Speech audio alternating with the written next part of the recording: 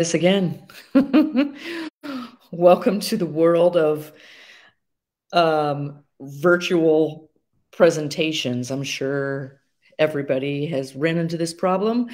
Let's start this again. Good morning. My name is Lara Joseph, owner of the Animal Behavior Center. We're an international educational center where we teach people all over the world how to empower the animals they work with and the people that work with them. We do that through our live streaming services, which you can find on our website, uh, theanimalbehaviorcenter.com. Um, let me know if this live stream, if anybody's having a problem um, viewing this live stream. We had some tef- technical difficulties here a couple of minutes ago. Tim, am I live? Can you see me? Am I frozen? Um, for those that may be new, my name is Lara Joseph, owner of the Animal Behavior Center. Uh, you can, okay, good. Hey, Jennifer. Um, sorry, we're going live a half hour late because I had some technical difficulties. Um, you can find our live streams on the Animal Behavior Center's Facebook page every Sunday morning at 9:30 a.m. Eastern, unless otherwise noted. Um, and the only time we go live at a different time, well, there's a couple times, whether we have cocktails with the critters or whether we have guests. Otherwise, if we have a guest, we'll go live at 9 a.m. Eastern. Um, and we do have a guest getting ready to come on that is being scheduled. She's from Africa. So I will make sure everybody has plenty of time um, to know the difference. So, um, for those that may be new, I show my work and I teach people all over the world how to interact with animals using positive reinforcement in the science of behavior called applied behavior analysis. Um, you can find out more about what we do on our website, which I just had posted, the animalbehaviorcenter.com. We have a lot of events coming up, and I'm getting ready to head out west. So you can track what we're doing, where we're going to be on our events page here in our Facebook or on our website, theanimalbehaviorcenter.com. You can also sign up for our email newsletter, which will show you um, things new that we've done and things that are coming up. Okay. So, hello again, everybody. um, a lot of people watch these replays so I try to make it uh, very beneficial for people who are attending the live stream um, to engage and interact. And today's topic is nails to tails. And how we came up with this is um, I do a lot of live streaming I, uh, with animals. Um, and I also do a lot of recordings. I have a ton of recordings on my phone and on my desktop and I tend to not be the most organized with them. So, Nails to Tails is part of my own behavior modification plan where I put these photos and videos together for you. Most of them nobody has seen before. And then it forces me to file them because once I'm done with this live stream, I trash all the content that's in it. And that forces me to make sure it's filed. Okay, good morning, everybody. Thanks again for joining. Um, so I have plenty of photos and videos coming up for you. Um, some never seen before, even in our projects, um, but they're usually clips of what's getting ready to come in the projects and the memberships, which are our annual subscriptions you can find on our Facebook or on our website. Okay, so good morning, Krista. Good morning, Heather. Good morning, Shelly, Debbie, Melinda, Beth. Uh, good morning. So, a lot of you have asked for our target sticks, our smaller lollipop target sticks for smaller mammals, reptiles, um, smaller birds. So we now have them. We have them. And this past week, in getting them on our website, I went in and showed some training with some different animals. Um, so I shot a picture of red, the red ruff lemur, and a target is when you ask an animal to touch a particular body part to an object. Um, they can be numerous. I use head targets to help teach an animal this is exactly where I want your head to be. That's going to earn, if you put your head in this position, it's going to earn you reinforcement. Head targets are great for um, if an animal has a bite history and you teach them when you touch your head to this particular target and keep your mouth closed, that's what's earning you reinforcement. So here we're showing teaching Red a nose target. He's the red ruff lemur. A lot of times I teach nose targets in the beginning um, to help teach the animal contingency, meaning if this, then this. Um, so you can get an animal to move from point A to point B, step on a scale. I have a video somewhere of me teaching a um, cormorant to step on a scale by following the nose target. If you guys want to see that, I will show you in an upcoming um, topic. Um, I train several different reptiles. My favorite reptile to train are alligators. Um, but you can see there's, and I have a video coming up showing how you shape this behavior. Um, it teaches an animal where to go and what is earning it the reinforcer. It's often one of the first things I teach to help the animal understand um, you're just as involved in this training as I am. We're a team together.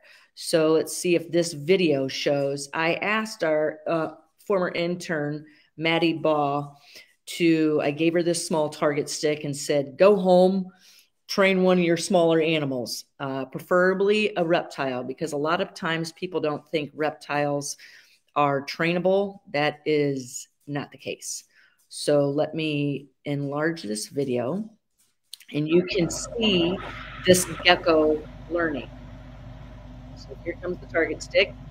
Oop, and the gecko's learning. When you touch the target stick, the mealworms are delivered. And you can hear the excitement in Maddie's voice. So training using positive reinforcement and applied analysis should be fun for both of you. This is why studies show if you're actually using positive reinforcement, it's the animal's preferred form of enrichment. It's my, I love training because I love seeing these animals empowered. You'll watch this gecko reach and he doesn't lick the target stick. Good. When you touch your nose to the target stick, this comes. Now Maddie can teach the gecko how to step on a scale.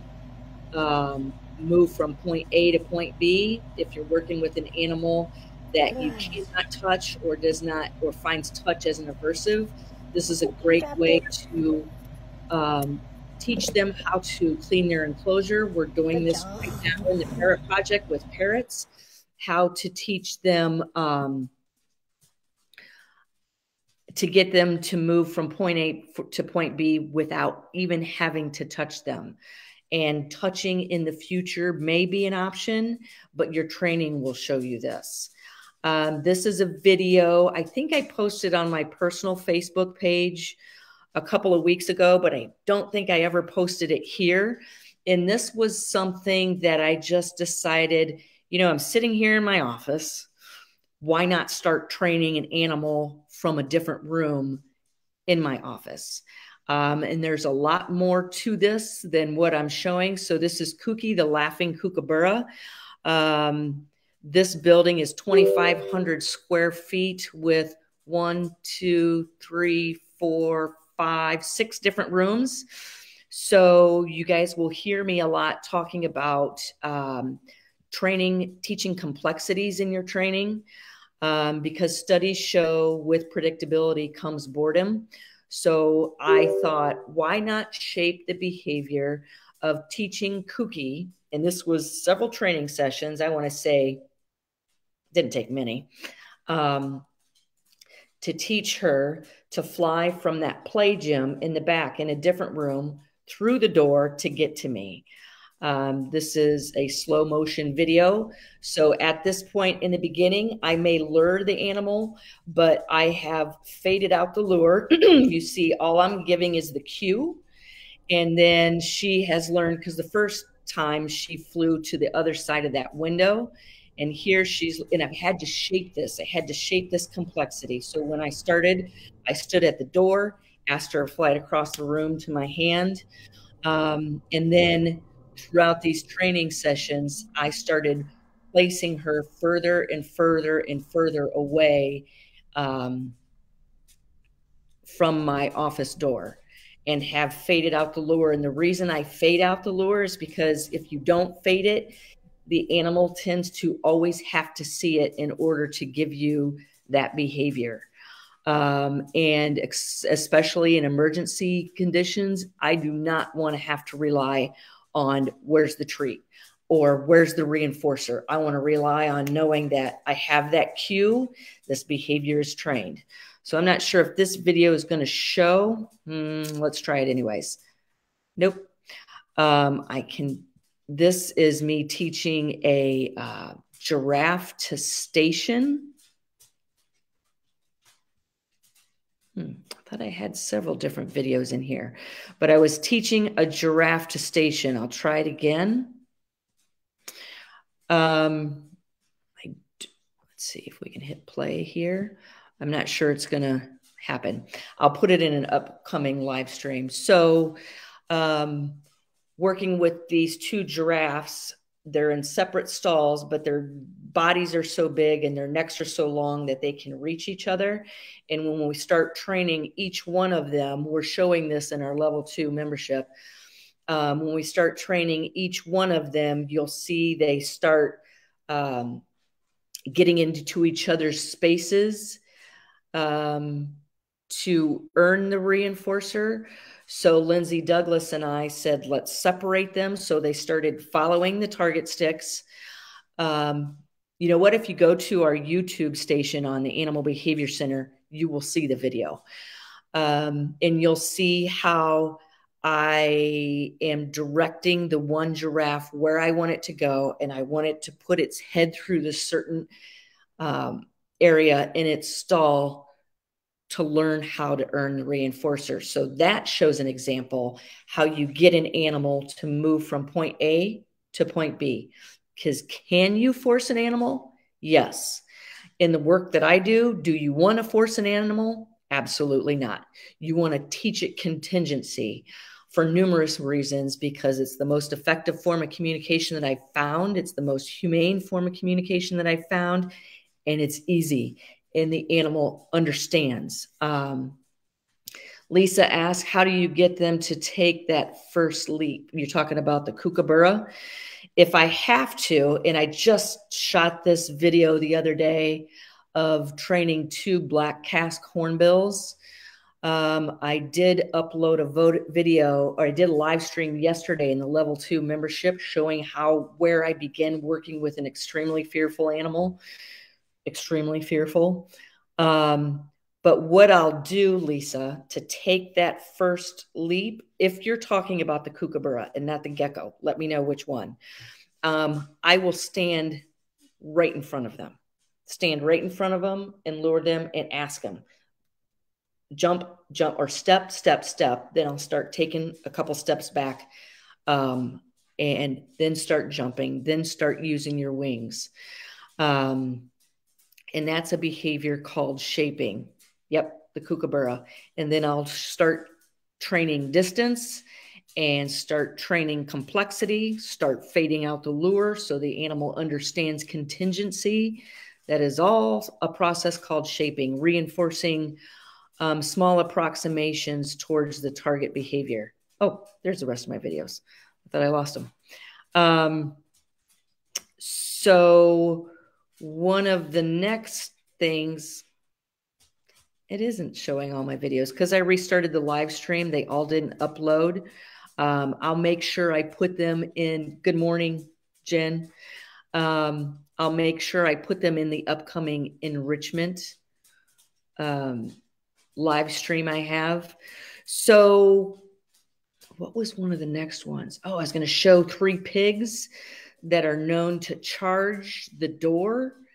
Um, and I'm showing how to counter condition. So, a lot of times, like you hear me say, if that animal can see, hear, smell, or feel you, you're training it anyways. The key question is, what are you training it to do? Um, so, these three pigs knew that every time the door opened, um, there would be food being delivered on the other side, and they would just bulldoze you over to get to the food.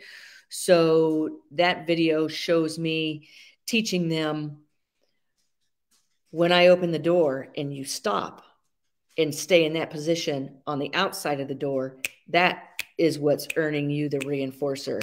And then back up on cue. So I started training them all to back up on cue. And then the next step would be I like to train animals by I can add in another cue saying their names. And then when they come forward, I deliver the reinforcer. And at the same time, I'm delivering the reinforcer for the other two to for staying where they are. And that's a step a lot of people miss is they forget when they're training more than one animal. If you're wanting one animal to come to you, fly to you, target, and the other animal is stay, staying behind, don't forget to deliver the reinforcer for the animal stationing in the background. Otherwise, they're going to start moving towards the reinforcer. Lisa, Lisa says Caesar wants to come to me. He gets in what looks like a position to do it, but he can't twist the leap. I'm not exactly sure. Lisa, if you're working with the bird, you should seriously take a look at the Parrot Project. And that's on the Animal Behavior Center's website under, I believe it's memberships. We are working on all kinds of things in level two with numerous species of animals and in the Parrot Project with just parrots and a few other birds. Um, I'll have a, I have another video for you, but I wanted to show you this. So I put in this live stream. Some of them didn't show up. Training of a gecko, training of two giraffes, training of three pigs, um, training of the kookaburra. I have another video coming up right after this of something I just started with Rico. Let me put this side by side because um, so you can see. I took this picture the other day because it's a situation I'm all when I'm working with animals, even when we're in the other rooms, I'm always listening to behavior. And we have so many windows around the Animal Behavior Center and through different rooms of the Animal Behavior Center. So I can, if I can't hear behavior, I can watch it from a different room because that is where my education is. So I'm always paying attention to behavior. And when behavior is not going um, in the direction I want it to, and how I determine what I what I want it to do is is it desirable for the animal, and is it desirable for the two of us to have a future together. Um, so I was walking around this room getting ready to do something. And I looked up and boom, this is what I saw. And what you're seeing is a cockatoo on this rope on the left. And what you may not be able to see is in this enclosure on the right, there's another cockatoo sitting on that rope on the right. Now, me, I'm like, why is this bird on the left sitting in this position? Because I'm always identifying reinforcers. That bird is sitting there for a particular reason. And I know that the bird on the left is Coco, is very attracted to the bird on the right, which is Rico. The roles are not the same when they're reversed. Rico doesn't have currently have a high value for Coco, but if I were to walk between these two birds, I guarantee you that bird on the left would boom lunge at me. And so these are little red flags that I want to pay attention to no matter what the species. If I'm working with an overbonded pair, one animal that's bond over bonded to me, um, I want those little red flags to go up to sit because if I'm to walk in between these, especially if it's flighted parrots, if it's primates, if it's dogs resource guarding, um, if I am to walk in between the two of them and the undesired behavior happens, boom. Um, if it causes me to back away, if that's the what the animal wanted, I guarantee I've just reinforced it. Um, I won't know until I try it again, which I don't want to try again. Because the other thing about having to retrain or counter condition is the animal has already learned that the undesired behavior to us has earned reinforcement and is a des- desired behavior to the animal. I don't want to have to counter condition if I can prevent it. A lot of times, because I'm working with animal, a wide variety of animals, I am counter conditioning because somebody else is unknowingly conditioning an undesired behavior. Um, so I'm always paying attention to that. Um, here's a video I have that I just took yesterday evening, right before I did our live stream in the Parrot Project. My good friend Vicky Ronchetti, which is a professional dog trainer out in Oakland, California, once told me trick training tricks. If I have, I don't usually have the luxury of training tricks. So we rearranged certain environments at the Animal Behavior Center uh, the past two days so I can have more time to train tricks. I'm really focusing my time on all the projects and memberships that we offer, upcoming webinars, and some other things um, to provide education to people working with species, different species of animals all over the world that want to know how to do better. So, in or if I'm finding myself consistently short on time and training, which I do not want to do, that is why I'm in this to empower animals and to educate the public. I will rearrange the environment so it's super easy for me to train. So we took this table and we placed it in Rico's enclosure yesterday and we set up a large 10 foot table out in the middle of the room so we can train numerous different animals throughout the day. But I'm training this trick, and this is teaching Rico, who is very bon- Okay, now let me tell you a couple different things. So just because this is a bird, you can still apply this to other animals. So let me give you a couple different scenarios. Over bonded. Okay. This particular animal is extremely bonded to me. Um, you will see this in this video. Watch how he does not want to lose physical contact with me.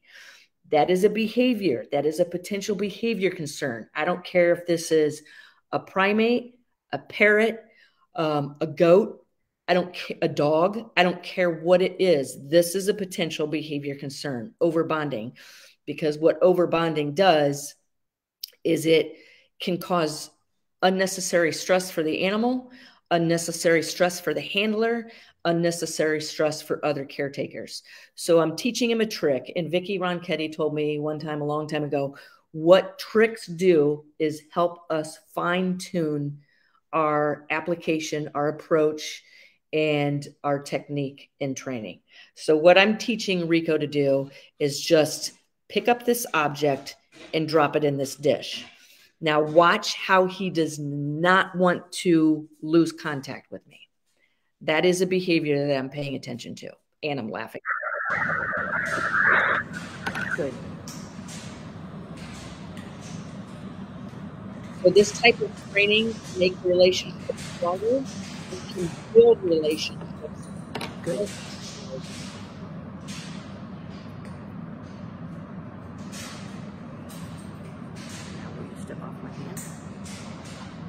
Good. So you hear me say, "Can I get you to step off my hand?" So once he learns, I'm looking to place this object into the dish. I start placing it. I'm laughing because he will not move from my hand. So watch at the end of the video. I identify the reinforcers. It's not just banana beef food in a syringe.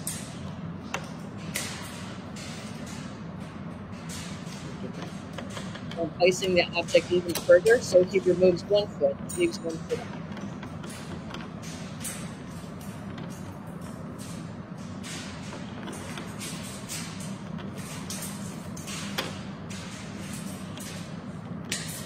Good. So I take the object and move it even further to see if he'll step off. Good.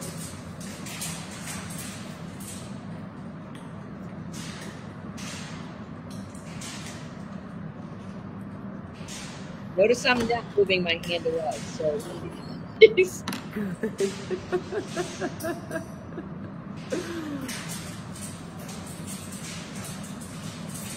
think I'm coming up at the end of the video, so watch, watch behavior, because this is what I'm doing. I've placed it far enough away that he has to move off. What do I deliver?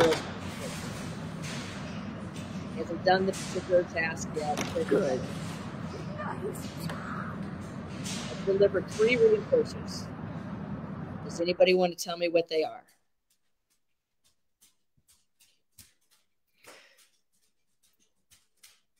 So I've asked him, I've placed the object far enough away that he has to step off of me. I am not moving my hand away from him. If I move my hand away from him, I'm likely going to be reinforcing all kinds of other undesired behaviors. It can actually positively punish the very behavior um, that I'm trying to train. So Krista Grant says food, correct. There's one. Um, and word, yes, he gets verbal attention from me, tactile attention. Um, he gets the food. Gabriella says, treat your praise, and you placed your hand closer to him so he could touch it. Yep. Um, and Debbie, correct. Verbal, tactile, and food. So, so many people think and they get stuck that the only reinforcers to use are food. When we are training so many times, food is only a percentage of the reinforcer we're delivering. So he gives me the behavior that I want. He steps off of my hand. So he goes over and picks up the block and drops it back in the dish. I bridged, delivered the food reinforcer I told him how good he was. So there was the verbal reinforcer. And then I moved my hand back in to give that tactile reinforcer because he didn't want to leave it in the first place. So that shows it's of high value. Okay. Now, some of you may say, but yeah, you're working with over bonding. Aren't you just reinforcing the concern of over bonding? Thanks, Debbie. Um, Not necessarily. This is a process called shaping, reinforcing small um, approximations towards the desired behavior. If I do not give him my hand back, that's what he didn't want to leave. Um, I could have, and if I let the video go longer, what happened is I asked him to step off my hand again. I took too big a step in training, and he took the cube, threw it, and ran away end of training session. I I pushed him past. I took too big of a step, pushed him past his comfort level. It wasn't worth it. Um, was that frustration possibly in him throwing the cube? Um, but you know what? I won't make that mistake again. I know to take smaller steps. So I'm slowly going to shape the behavior of him stepping off my hand for longer and longer periods of time. Um, so I apologize for the technical difficulties. I know there were at least two videos that didn't show up in this live stream. Um, I do appreciate the majority of you coming back to watch this. Um, stay tuned. Our topic next week, I do believe I'm training. I have to take a look at my schedule, but I do believe I'm live streaming the training with a deaf and blind dog okay, that was born deaf and blind. So I'm pretty sure that's what it is. So I'll be live streaming from my phone. I chose not to do it this week because I didn't sweep my floor. So if you like the work that you've seen here, take a look at our website. Join us every Sunday morning. Um, if you want more intense work, take um, learning and education, take a look at our memberships. Um, I forgot to mention that in our memberships, your podcast, your latest podcast was uploaded last week. And um, we have our projects if you're interested. And we also have our webinars. And speaking of that, I am scheduling a live streamed webinar coming up.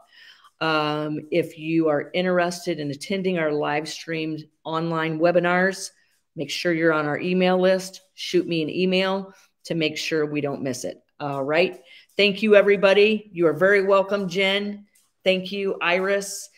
Thank you for attending and bearing with my technical difficulties. I was on the phone or I was online with them. Behavior issue solved.